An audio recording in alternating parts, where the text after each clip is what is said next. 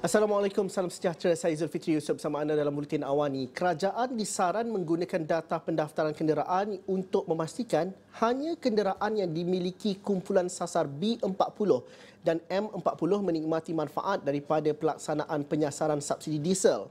Menurut Pemerhati Rasuah Malaysia MW, MCW, langkah tersebut wajar dilakukan selain menggunakan data daripada pangkalan data utama padu dengan pangkalan data berkenaan dikemas kini secara berkala serta diselaras dengan agensi-agensi berkaitan. Selain itu, pertubuhan tersebut mencadangkan agar menggunakan MyCard atau ID kebangsaan memastikan pemilik yang layak sahaja dapat membeli diesel bersubsidi. Ia boleh dilakukan dengan menghubungkan pembelian diesel bersubsidi dengan sistem pengenalan digital. Jelas MCW teknologi seperti blockchain boleh digunakan untuk mencatatkan dan mengesahkan transaksi supaya tiada manipulasi.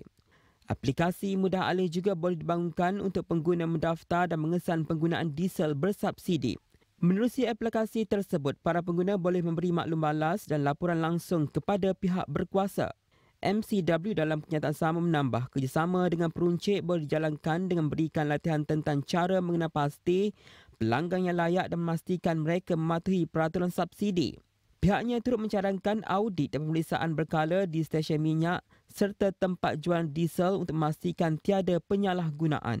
Kerajaan juga perlu menyediakan saluran aduan khas untuk masyarakat melaporkan sebarang ketirisan atau penyelewengan dalam penyaluran subsidi.